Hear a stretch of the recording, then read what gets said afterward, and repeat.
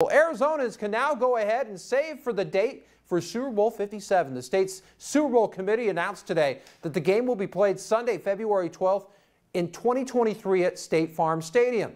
Arizona was selected to host Super Bowl 57 back in May of 2018, marking the fourth time that the Super Bowl was awarded to the state. However, it's the third time the nation's most popular sport will be played at State Farm. Arizona joins the ranks of South Florida, New Orleans, Los Angeles and Tampa Bay is the only site selected to host the Super Bowl at least four times. And again, I check those numbers. I think San Diego's in there too. Just saying.